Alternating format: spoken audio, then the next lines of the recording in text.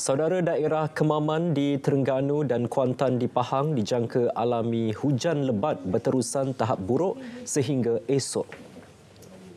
Met Malaysia dalam kenyataan memaklumkan Kemaman menjadi lokaliti ketujuh di Terengganu dijangka mengalami hujan lebat berterusan tahap buruk selain enam daerah lain disenaraikan pagi tadi iaitu Setiu, Kuala Nerus, Hulu Terengganu, Kuala Terengganu, Marang dan Dungun.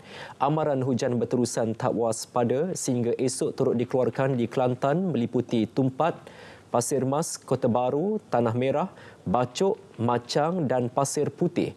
Di Terengganu pula membabitkan Besut manakala di Pahang membabitkan Jerantut dan Pekan.